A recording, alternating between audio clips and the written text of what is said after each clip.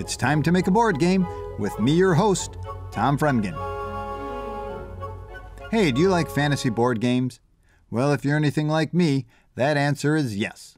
And I don't know about you, but as I look around these days, thanks to the internet and cheap digital printing, it seems that homemade board games are becoming all the rage. So I said to myself, Self? Yeah, that's an old joke. I like old jokes. But I said, Self, let's make a board game. Now, before I dig into making a game, I thought it would be fun to go over fantasy board games that I like.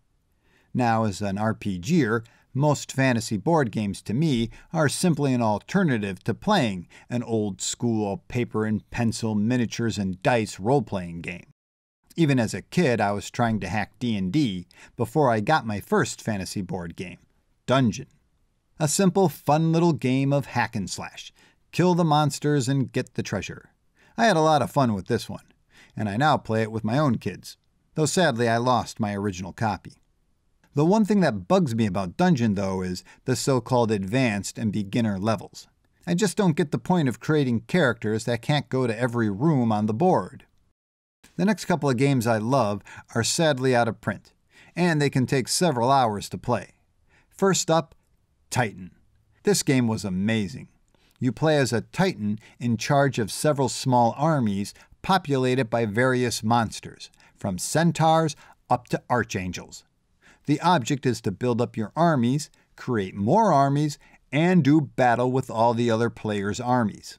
And to win, you don't have to defeat all the other armies, just the ones that the other players' titans are in, if you can find them. So then the last titan in the game wins. The game is really crazy and long. Depending on your luck, it could take more than a day, as battles between armies are actually fought out on smaller game boards based on the terrain of the area. Most of the time, these small battles would be a game unto themselves, but in Titan, you can expect to have many such battles in one game. Titan is just a lot of strategy and monster mash fun. Next, Knights of Camelot. Now, this is basically a role playing game where the dungeon master has been replaced with a ton of random rolling charts. And the game can last as long as you want. A few hours, a week, Seriously, it can just roll on and on. The basic game is that you're a knight in merry old England, merry old Scotland, Wales, Ireland, and Gaul included, and you're trying to work your way up in chivalry, aka combat, and virtue, aka good deeds, to become a knight of the round table. So you basically travel around the board, rolling dice to see if you encounter other knights, kings, ladies, brigands, animals, and monsters and then you roll the dice to see what their reaction is to you. Do they need help? Do they attack you? Or whatever. In the service of kings, you'll be sent on adventures to slay dragons, free imprisoned knights, defend a lady's honor, enter a jousting tournament, make a pilgrimage to Rome, or even seek the Holy Grail itself. As an Arthurian fan, Knights of Camelot had it all. This last game is my favorite fantasy board game. Talisman. I was taught the game on my friend Pete's second edition, and I have a third edition myself.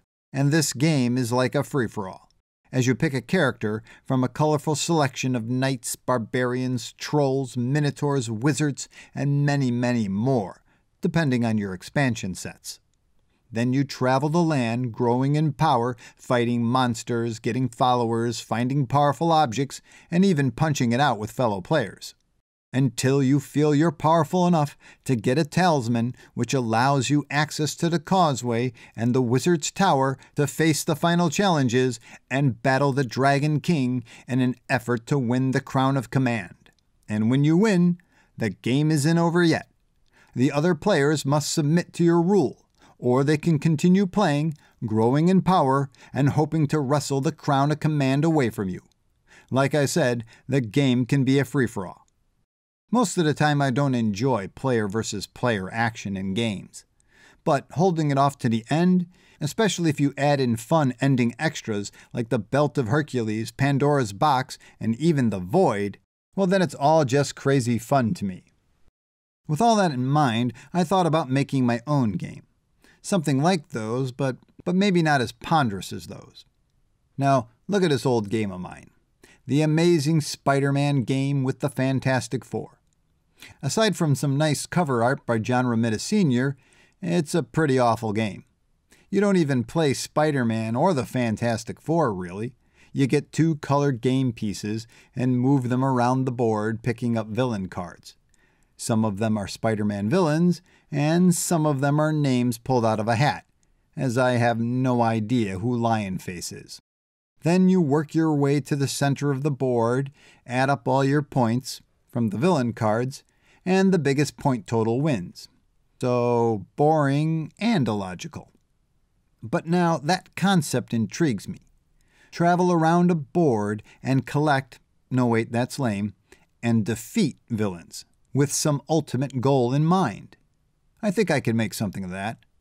Check out my next video to see what it is as I roll up my sleeves and really start to get into making my own fantasy board game. Hope you'll join me for it, and thanks for joining me on this walk down memory lane. See you soon.